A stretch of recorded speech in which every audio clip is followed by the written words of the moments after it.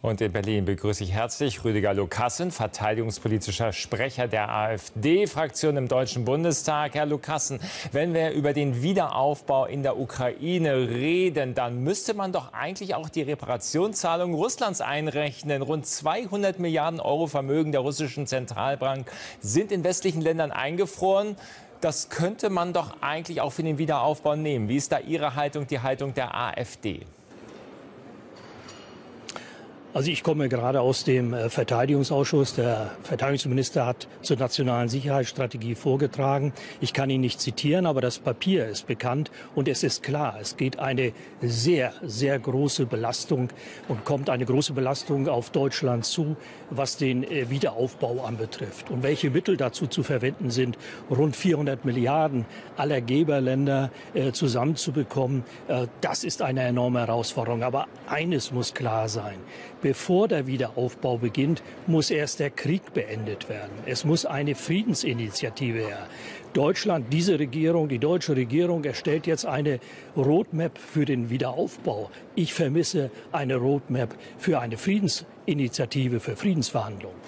Aber da sind sich doch nun viele Expertinnen und Experten einig, diese Friedensverhandlungen wird es mit Russland erst geben, wenn tatsächlich Russland mehr oder weniger dazu gezwungen wird. Und da möchte ich jetzt noch mal, auch noch mal ein bisschen vielleicht noch mal Ihre persönliche Haltung abfragen.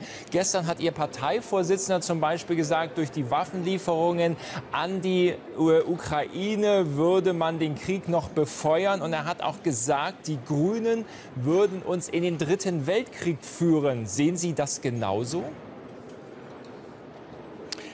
Herr Rasam, keiner kann sagen, ob Waffenlieferungen nicht eher, der, eher zur Eskalation beitragen oder ob sie tatsächlich einen Siegfrieden herbeiführen. Ein Siegfrieden über die russische Föderation ist nicht möglich. Das ist eine Utopie.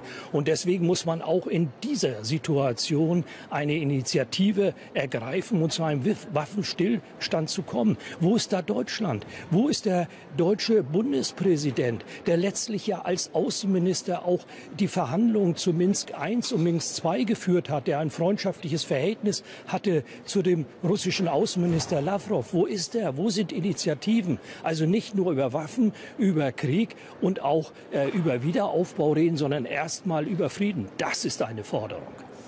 Wenn wir über Frieden reden wollen, dann würden und Sie sagen, man müsste jetzt erstmal einen Waffenstillstand herbeiführen. Das würde doch auch bedeuten, dass die Ukraine ihre territoriale Integrität aufgeben müsste. Also hierfür hat und hierzu hat äh, die AfD-Bundestagsfraktion ja einen äh, klaren Friedensplan erstellt, der hierzu, ähm, äh, der hier aufzeigt, wie das möglich ist. Und zwar die äh, besetzten oder die jetzt im Krieg befindlichen Oblasten unter ein äh, Protektorat der OSZE zu stellen und über die Krim später zu verhandeln. Man muss einen gewissen Zustand erstmal einfrieren, wenn man einen Waffenstillstand hat und auf dieser Basis dann Friedensverhandlungen führen. Aber man kann nicht sagen, erst muss das ein oder andere Land zu gewinnen ohne zu überhaupt zu wissen, wie es geht. Und keiner, und nochmals, keiner kann sagen, dass mit mehr Waffen dieser Krieg beendet werden kann. Sie waren ja nun selber jahrzehntelang bei der Bundeswehr, sind ja Oberst AD auch und äh, kennen natürlich auch die Verteidigungspolitik und auch verteidigungspolitische Instrumente sehr gut. Ein Waffenstillstand, wie Sie den ja jetzt gerade fordern, das wird ja immer wieder auch gesagt, würde einfach nur Russland nutzen, nochmal seine Truppen und seine Militärindustrie neu zu ordnen. Das müssen Sie doch auch einsehen eigentlich.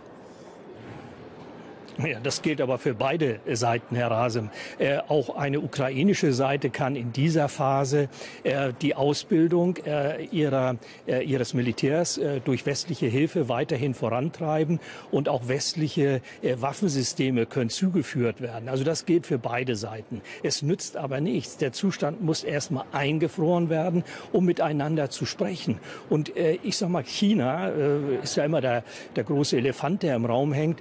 China zeigt zeigt es ja, dass es geht. China äh, erarbeitet sich eine quasi neutrale Stellung, steht drüber und zeigt auf, äh, dass sie der Vermittler für Friedensverhandlungen sein können. Aber wir müssen ein europäisches Interesse haben. Deutschland muss ein europäisches Interesse haben, eine eigene strategische Autonomie, aus der heraus auch äh, Friedensverhandlungen geführt werden können. Dass die USA und China eigene Interessen haben, ist vollkommen egal.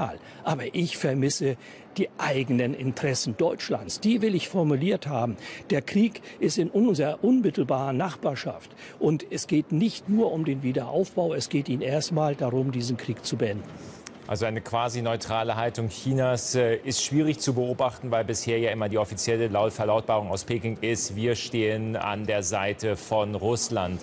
Aber ich möchte jetzt noch gerne noch mal mit Ihnen auf ein anderes Thema kommen. Gestern der Verfassungsschutzbericht 2022 vorgestellt vom Verfassungsschutzpräsidenten und in diesem Verfassungsschutzbericht wird auch gesagt, dass von den Mitgliedern in der AfD, in ihrer Partei, rund 10.000 dem extremistischen Lager zugeordnet zugeordnet werden. Sie sind jemand, ich habe da auch heute Morgen noch mal auf Ihrer Internetseite nachgelesen, der gesagt hat, die AfD steht für Rechtsstaatlichkeit. Wie passt das zusammen? Eine Partei will für Rechtsstaatlichkeit stehen, wo Sie Mitglied sind, und auf der anderen Seite sind dort aber 10.000 Mitglieder, die extremistisch eingestuft werden bzw. den extremistischen Strömungen in ihrer Partei zugeordnet werden. Also, dass die AfD eine rechtsstaatliche Partei ist, das steht außer Zweifel, sonst wäre ich nicht in der AfD. Das ist das eine. Diese Zahl 10.000, von dem, äh, sage ich mal, durch die Bundesregierung instrumentalisierten Verfassungsschutz, ist eine alte Zahl. Die kommt noch aus der Zeit, als man äh, den Flügel versucht hatte, äh, quantitativ zu bestimmen. Die hat jetzt Herr Haldenwang wieder vorgetragen. Was er allerdings nicht vorgetragen hat, ist, dass er vor einigen Wochen noch die, unsere äh, äh, Jugendpartei, die junge Alternative, als gesichert rechtsextremistisch einstufen wollte und dass er das jetzt per Gerichtsbeschluss äh, zurücknehmen musste. Also so eindeutig ist das nicht. Und ich habe zwei Aufgaben. Einmal die Rechtsstaatlichkeit der AfD auch in praktische Politik umzusetzen und im, zum anderen innerhalb der AfD auch dafür zu sorgen, dass wir das glaubhaft rüberbringen. Dass es dann immer Ausnahmen gibt, wie in jeder anderen Partei. Ja, okay. Das ist so. Aber das ändert nichts daran, dass unsere Grundrichtung stimmt. Und für diese Grundrichtung stehe ich. Wenn Sie aber sagen Ausnahmen, dann muss man ja sagen, beispielsweise Stichwort extremistische Strömungen. Äh, der Vorsitzende der Thüringer AfD steht ja wegen extremistischer Aussagen vor Gericht. Also das sind ja jetzt nicht Fälle, wo man sagen kann, da hat mal jemand irgendwas gesagt. Das sind ja schon herausragende Politikerinnen und Politiker bei Ihnen. Ja, wenn Sie diesen Fall nehmen, diesen Einzelfall, äh, den ich nicht damit unterminieren will, der ist zwei Jahre alt, hier hat äh, Herr Höcke etwas gesagt, was nun ihn vor Gericht bringen soll, äh, wo kein Mensch mehr in dieser äh, Land, in diesem Land weiß, was es eigentlich damit gemeint ist, wenn es heißt Deutschland zuerst oder sonst irgendetwas. Ähm, es ist, äh, ich sag mal, es ist fast ein bisschen, bisschen grausam. Und ich will Ihnen auch eins sagen. Umso mehr diese Bundesregierung mit ihrem Verfassungsschutz, mit ihrem Inlandsgeheimdienst, die AfD versucht so in die Zange zu nehmen. Umso mehr Menschen in diesem Land haben davon die Nase voll. Und das führt zu den Umfrageergebnissen der AfD. Fast müsste ich mir wünschen, dass sie so weitermachen, damit die AfD in ihren Umfragen steigt. Und das ist der verkehrte Weg dieser Fraktion und dieser Regierungsparteien. Äh, ich werde ihn beobachten. Das würde aber bedeuten, Herr Lukassen, dass dann eben auf der anderen Seite, je mehr Extremisten, desto mehr Wähler. Das wäre dann ja sozusagen die Schlussfolgerung aus dem, was Sie eben gesagt haben. Aber wie ich würde sagen, an dieser Stelle müssen wir das Gespräch beendigen. Herzlichen Dank für Ihre Stellungnahme heute Morgen. Das war Rüdiger Lukassen, verteidigungspolitischer Sprecher der AfD-Bundestagsfraktion. Tschüss, Herr Rasem.